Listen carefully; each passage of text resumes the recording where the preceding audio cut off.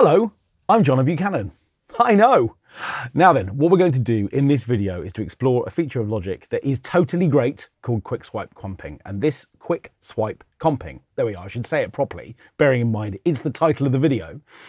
What this allows us to do is to basically make a number of recordings in loop mode and then select our favorite sections from the tracks that we record. And what I'm going to do is to add some violin I've mentioned on the channel before that I used to be a violinist, and this video is going to be a crime against violin playing, but nevertheless, I am going to record some violin. What I've done is to connect this microphone, this wonderful Neumann um, KM84, to my interface.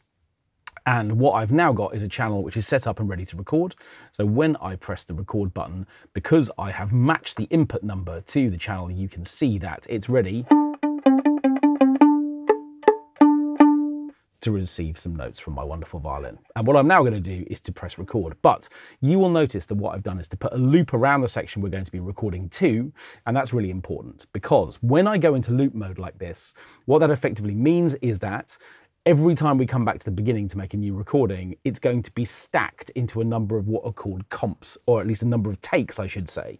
And from those takes, what we can then do is to choose what we call a comp, literally a, um, a, a version of that, selecting the best bits from each of those performances. The best bits, are any of them going to be the best? Well, let's find out. Here we go.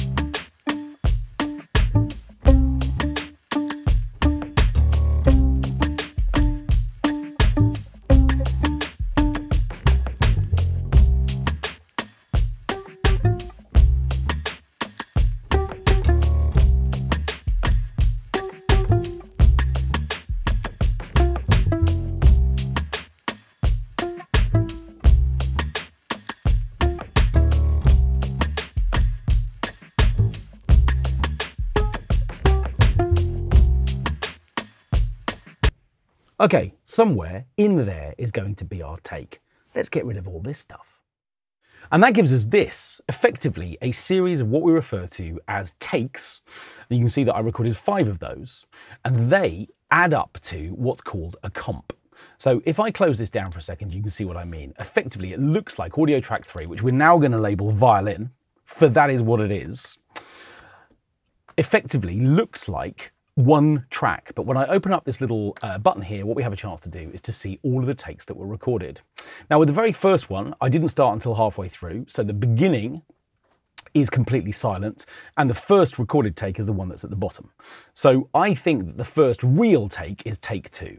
So let's just try that again. Take two always feels like a good place to start. Let's see what that sounds like. I might put a compressor on this violin just so we're really hearing it. Um, and I'm going to select um, the studio FET. Effectively, I'm just going with this quickly just to get a bit of extra level into the signal. Sounds like this.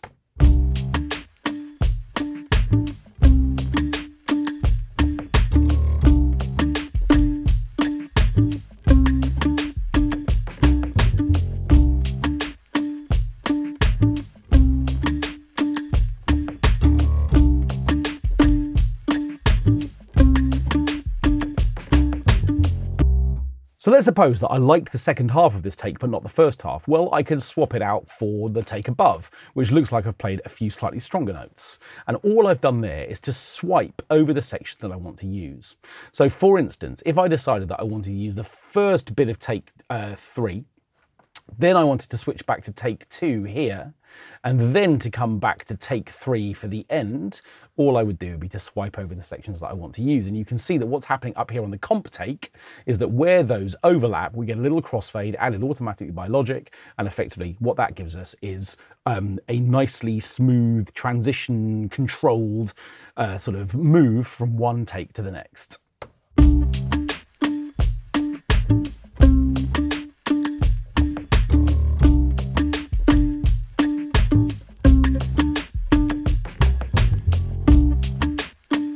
And that works nicely. So what I did in the last two takes, or the two most recent takes, was to try out a couple of little variations in a couple of spots.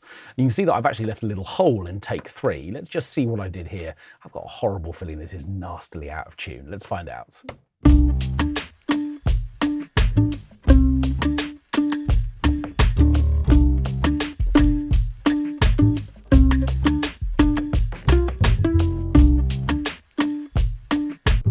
Be worse, but it's not very interesting. It definitely gives us a little bit of an ending, though. Maybe it's this one here that was horribly out of tune. I'm determined to find it, which seems like quite an odd thing to say. But I think we've got a little bluesy moment here that I've added kind of right at the end.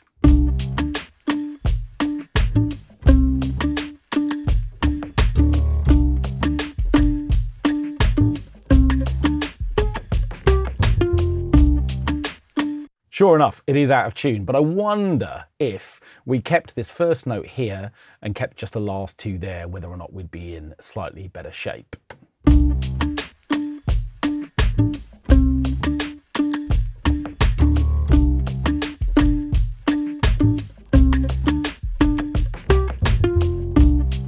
Or indeed just maybe the last one, because that's really not very nice either. What's happening on that take there?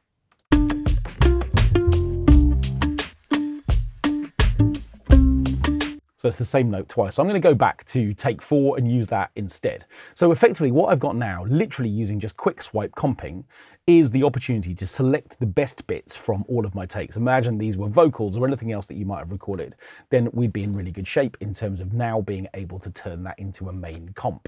And the way that I'm going to do that, if I'm absolutely sure that now this represents the thing that I want to be my main take, is that what I'm in a position to do here is to click, not on the arrow itself, but in this little section here where it says A. And what this allows me to do is to do a whole bunch of things. So for instance, what I could do would be to select the whole of one take. Any of the takes that I've recorded, I can now select the whole of.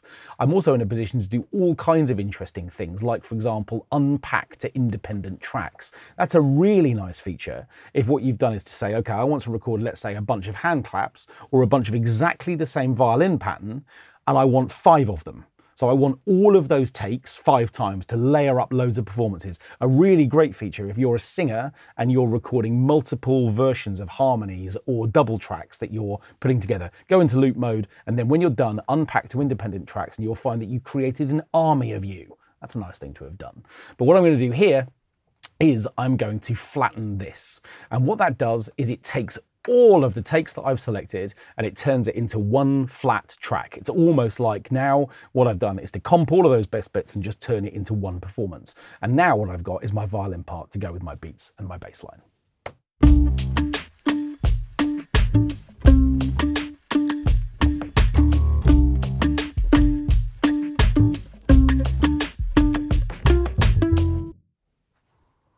And there we are. What I've now got is my comped performance. So if you're working like this and what you want to do is to set up a mic and make multiple recordings of things and then choose the best bits, quick swipe comping is a really great place to do all of that work.